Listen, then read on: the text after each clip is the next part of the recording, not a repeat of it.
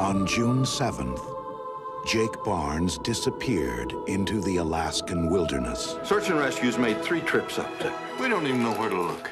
Nobody's picked up any signal from his emergency beacon. Why don't you two go on back to the house? There's nothing you can do here. On June 8th, Sean and Jesse Barnes did something about it. Dad's still alive. He'd survive no matter what. And you guys are just gonna give up on him.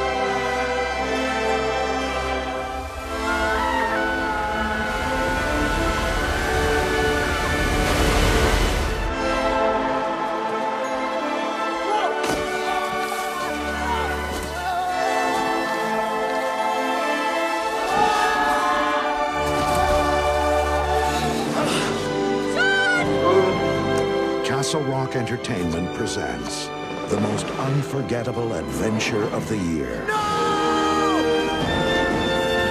Never give up. Never. Alaska.